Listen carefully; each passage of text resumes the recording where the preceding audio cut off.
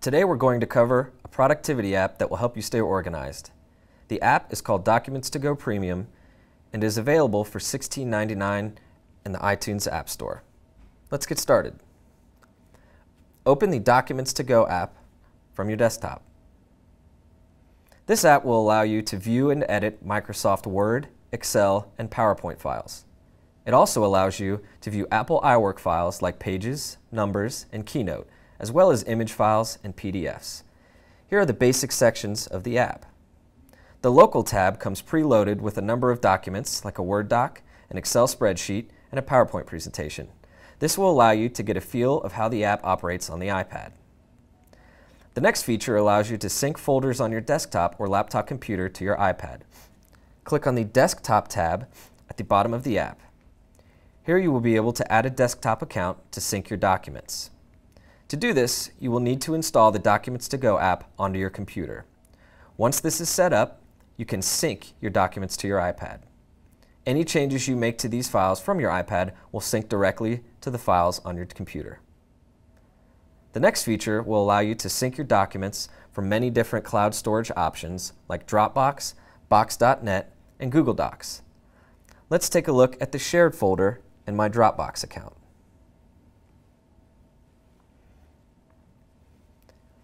As you can see, some of them have colored icons.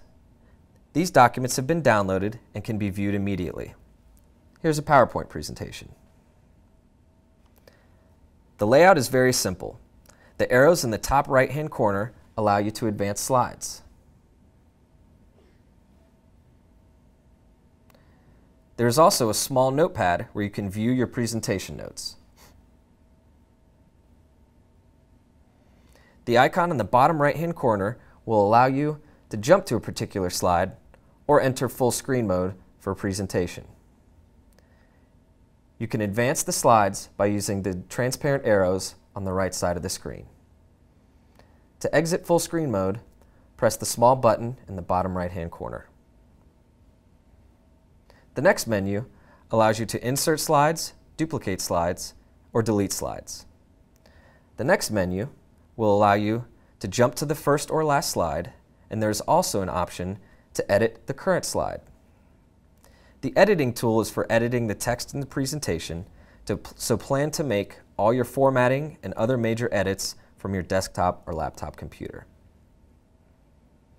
Next, we'll open up a Word document.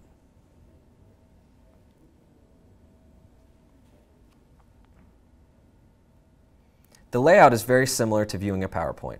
You can scroll through the document using your fingers, and you can press anywhere in the document to begin editing.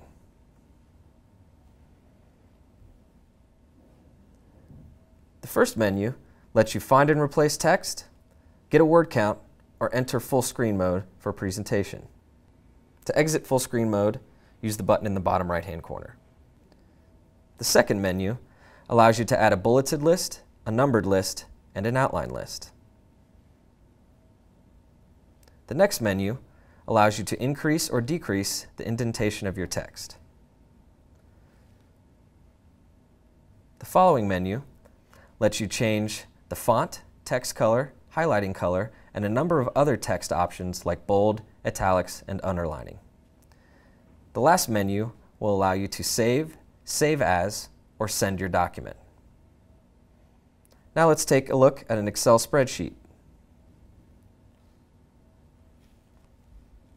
Again, the menus are very similar to those in Word and PowerPoint. The menu on the right allows you to sort, find, clear cells, go to a specific cell, and toggle full screen mode. The next menu allows you to freeze panes, hide rows and columns, and unhide rows and columns.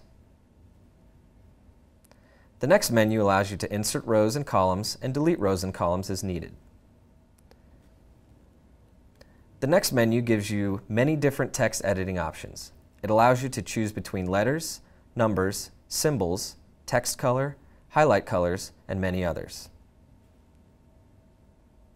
The last menu allows you to save, save as, or send your document.